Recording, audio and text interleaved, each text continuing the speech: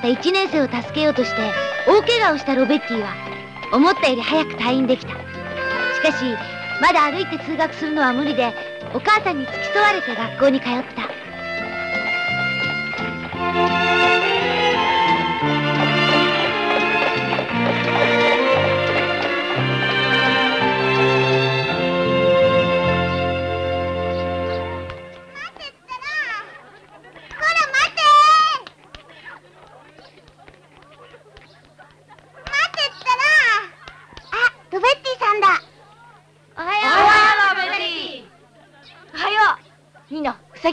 るのかい？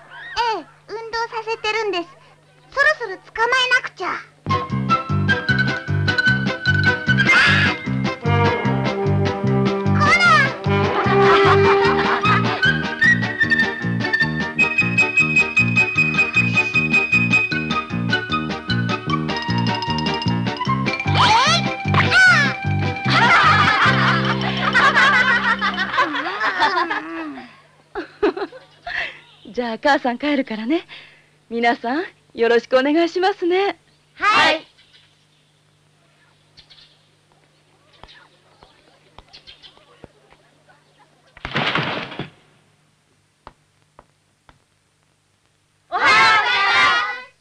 おはよう。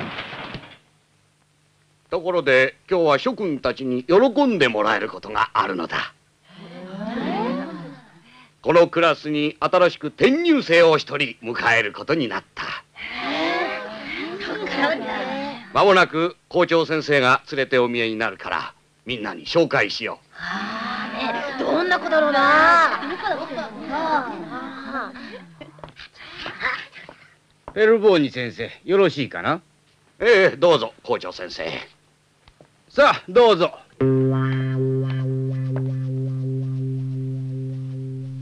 さあどうぞこちらへ。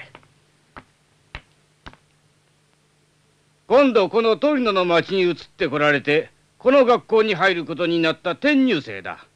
この町に来られたばかりでわからないことがたくさんあると思う。君たちもできるだけ親切にしてあげるように。皆さんこいつはまだ北イタリアの言葉もろくにわからねえんで一つ仲良くしてやってくださいではペルポーニ先生よろしく。承知しました。じゃあお父さんは私と一緒に。ええ先生様よろしくお願いします。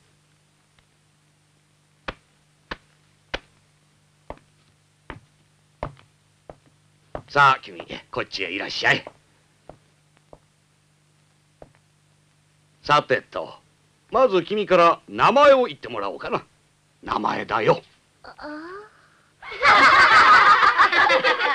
静かに。そうか。まだ北イタリアの言葉はよく聞き取れないんだったね。いや私が悪かった。ではみんなには私からあ紹介しよう。この少年はコラーチといってこのトリノから1000キロも離れているカラブリア地方のレジオという町から来たのだ。デロッシカラブリア地方について説明してみたまえ。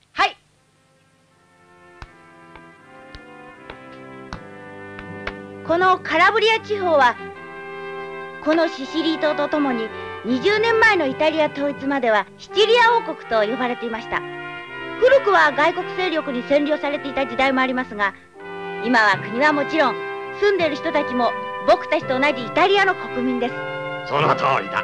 デロッシクラスを代表してコラーチ君に歓迎の挨拶をしてあげたまえ。はい。エルネスト・デロシですクラスの全員と共に君を心から歓迎します。グラッツェ、グラッツェ。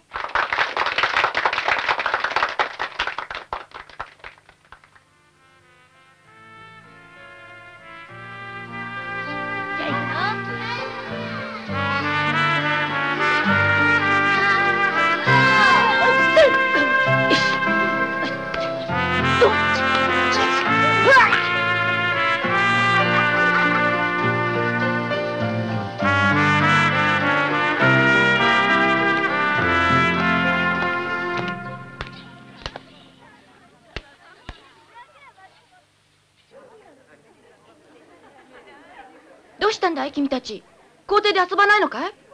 君が出られないのに、僕たちだけ校庭で遊ぶわけにはいかないよ。何かゲームでもやろうよ。そんな気持ちは嬉しいけど。おい！みんな大変だぞ。フランスの奴らがあの転校生を囲んじゃってさ。なんだって？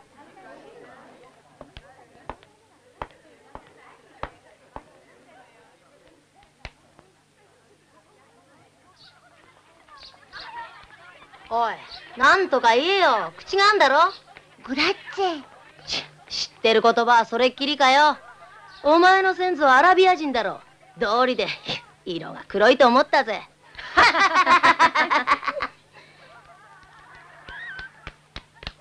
フランチ妖精の転校生をからかうのはまた三人組のお出ましかい。君行こうゲームを教えてあげるよ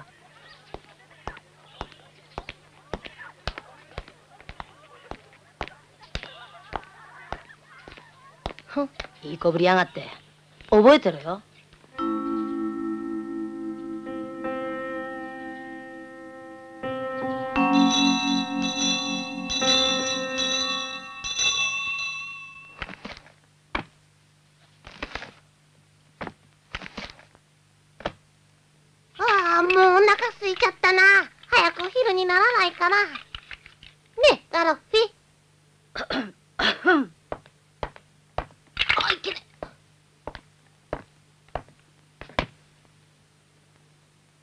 みんな教科書とノートをしまいたまえ。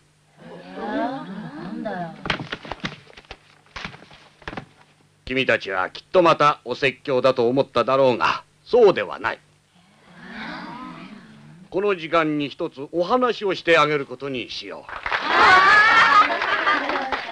パドバの少年愛国者というお話だ。パドバというのはみんなも知っているようにイタリア半島の北西部水の都ベニスから50キロほど離れたところにある町だ。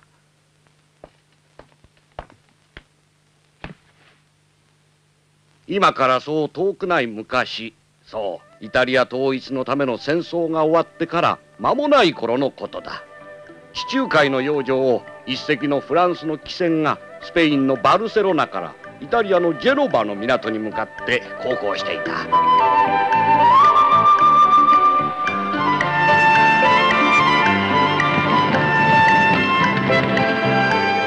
の船の一番船賃の安い三等船室にはスペインから帰るフランス人やイタリア人スイス人それにこれから働きに出かけるスペイン人などたくさんの国々の人たちが乗っていた。そしてその先客たちの中にちょうど君たちと同じぐらいの年頃のイタリアの少年が一人乗っていたのだ。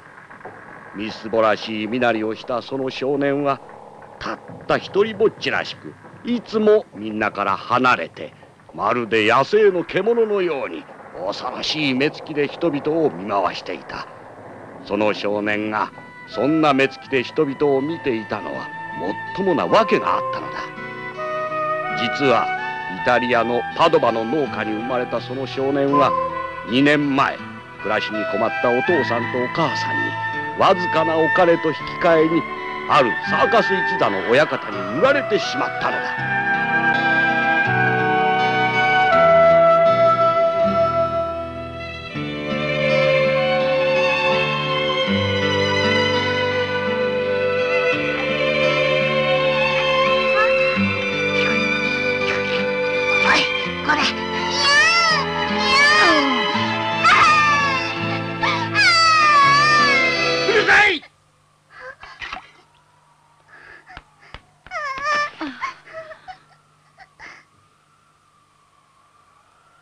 僕行くよ。その親方のところへ行くよ。すまねえ。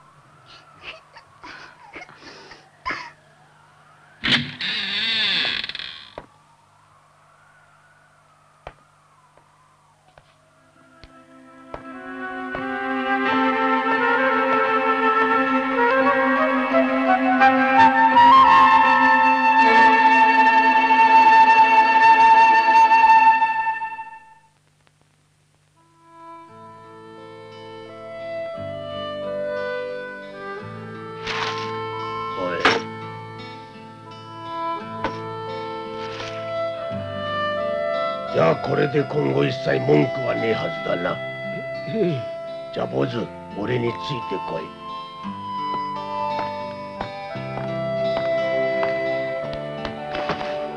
待って。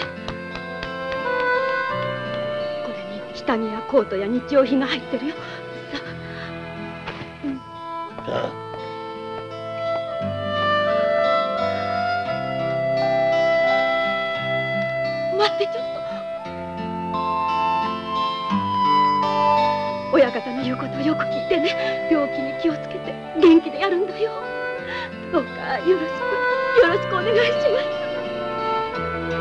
ますさあ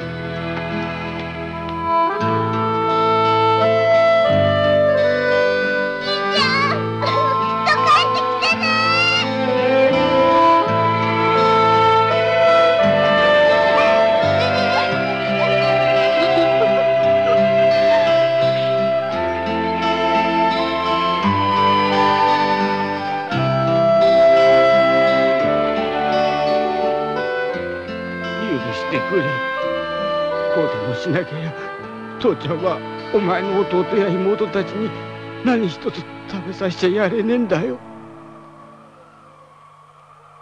長いイタリア統一戦争のために土地は荒れ果て父親は戦争で傷つき一家は働ける少年を人手に渡すより他に食べていく道はなかったのだ。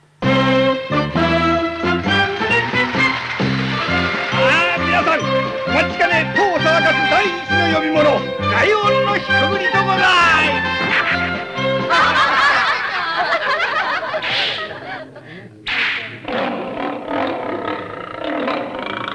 おい。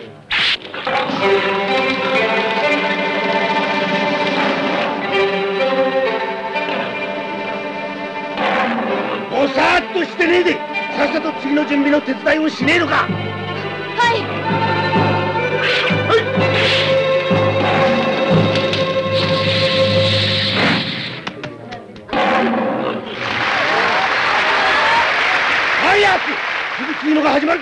何してんだ！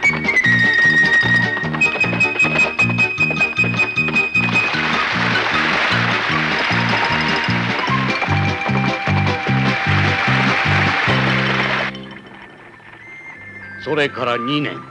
少年は親方に連れられてヨーロッパ中を流れ歩いた。親方はのべつ幕なしに少年を殴ったり蹴ったりした上ろくに食事もさせずどい扱いを続けたのだった。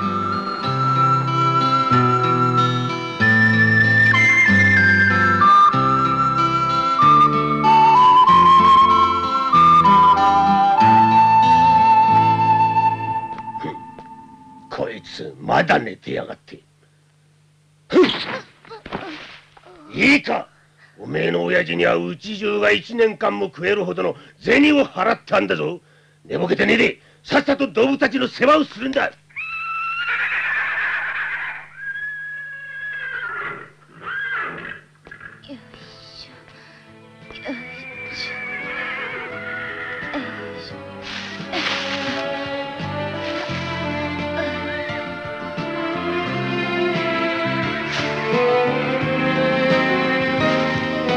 馬が済んだらすぐ犬の方だ何も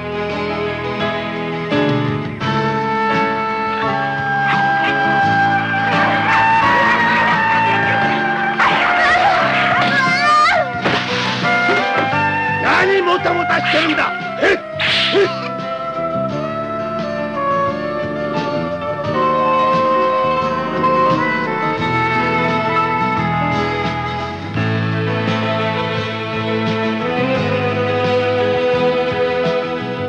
遠くスペインまで来た時少年は見る影もなく痩せ衰え目ばかりギラギラ光るありさまになっていた。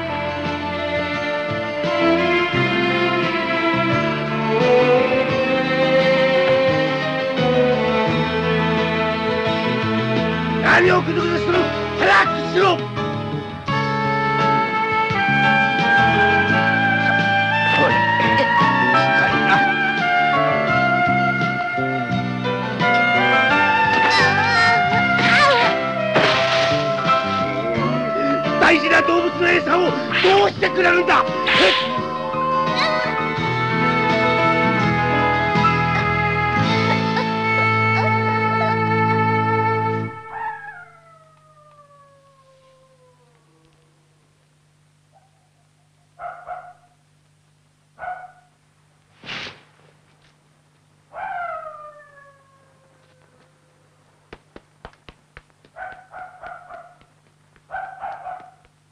少年は命がけで逃げ続けた。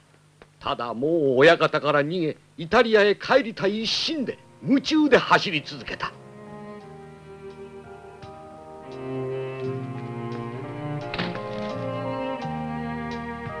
バルセロナの町にたどり着いた時少年はもう疲れと上で一歩も歩けず倒れてしまった。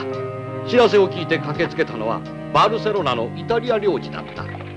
領事は少年を領事館に運び手厚く介抱した。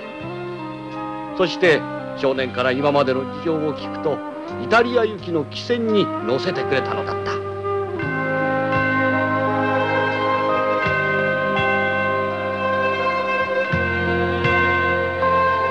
長い船旅の間先客たちは退屈しのぎに少年から身の上話を聞き出していた。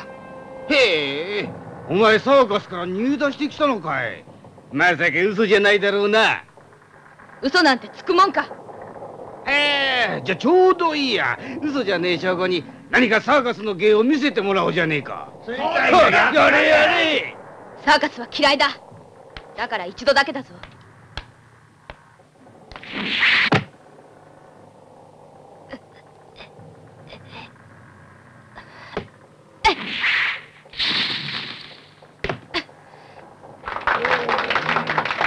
なるほどうめえもんだ。おいみんなこの小僧に見物料をくれてやろうぜ。ああいいともさ。ほら。さあみんなおめえのもんだ。取りな。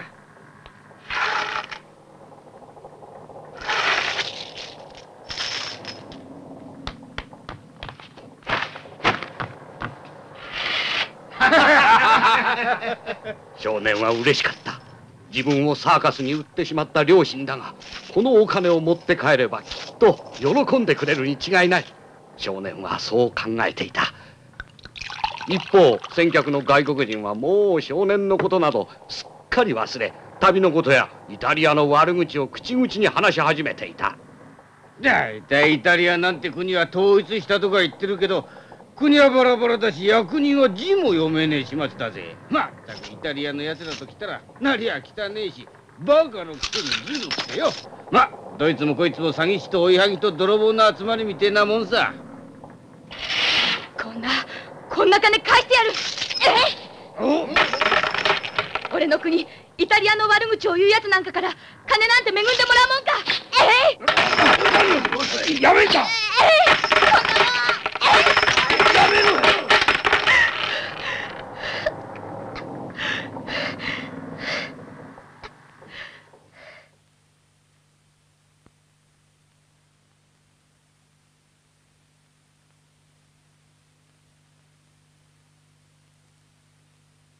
これでパドバの少年愛国者という話は終わりだ。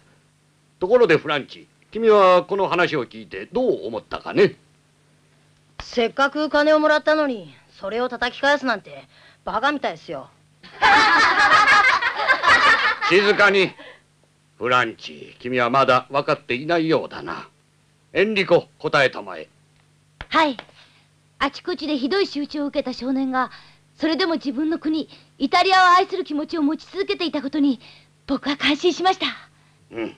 私たちの国イタリアは昔バラバラに分裂していたために何度も外国の軍隊に占領された。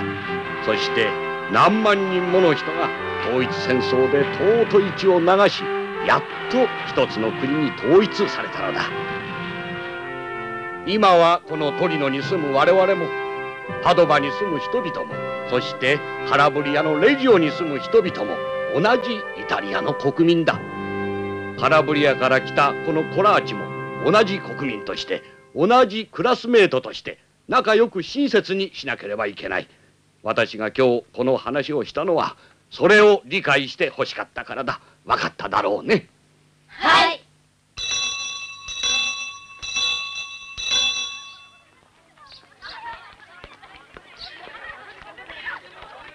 これまだ使ってないペンなんだ。使ってくれないか。新しいノートだよ。どうぞ。親父が乗ってる機関車の写真だ。あげるよ。お父さんが送ってくれた。珍しいスウェーデンの切手なんだ。君に記念に。グラッツェグラッツェグラッツペルボーニ先生がなぜあのお話をされたのか僕には痛いほどよく分かったイタリア統一のために亡くなったたくさんの人たち。僕たちはその人たちのためにもイタリア中の人と仲良くしなければならない。それが国を愛することの一つだと僕は今日先生のお話を聞いて強く感じたのだった。